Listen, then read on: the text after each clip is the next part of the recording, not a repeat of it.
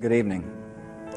Today, our fellow citizens, our way of life, our very freedom came under attack in a series of deliberate and deadly terrorist acts. The victims were in airplanes or in their offices secretaries, businessmen and women, military and federal workers, moms and dads, friends and neighbors. Thousands of lives were suddenly ended by evil, despicable acts of terror. The pictures of airplanes flying into buildings, fires burning, huge, huge structures collapsing, have filled us with disbelief, terrible sadness, and a quiet, unyielding anger. These acts of mass murder were intended to frighten our nation into chaos and retreat. But they have failed. Our country is strong. A great people has been moved to defend a great nation. Terrorist attacks can shake the foundations of our biggest buildings, but they cannot touch the foundation of America. These acts shatter steel, but they cannot dent the steel of American resolve. America was targeted for attack because we're the brightest beacon for freedom and opportunity in the world, and no one will keep that light from shining. Today, our nation saw evil, the very worst of human nature, and we responded with the best of America, with the daring of our rescue workers, with the caring of, for strangers and neighbors who came to give blood and help in any way they could. Immediately following the first attack, I implemented our government's emergency response plans. Our military is powerful and it's prepared. Our emergency teams are working in New York City and Washington, D.C. to help with local rescue efforts.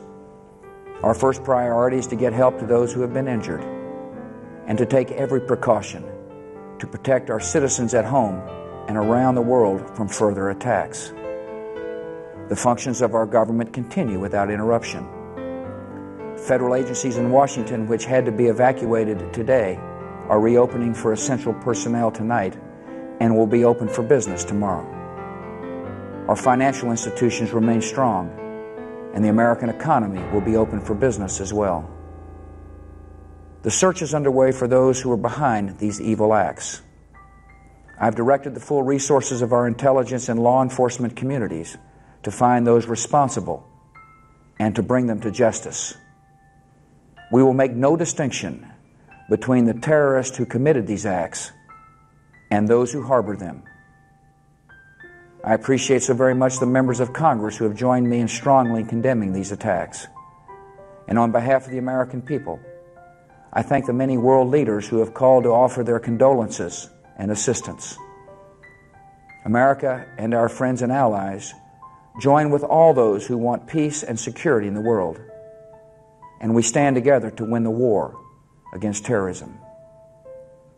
Tonight, I ask for your prayers for all those who grieve, for the children whose worlds have been shattered, for all whose sense of safety and security has been threatened.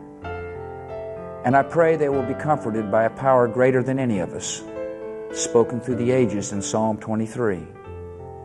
Even though I walk through the valley of the shadow of death, I fear no evil, for you are with me. This is a day when all Americans from every walk of life unite in our resolve for justice and peace.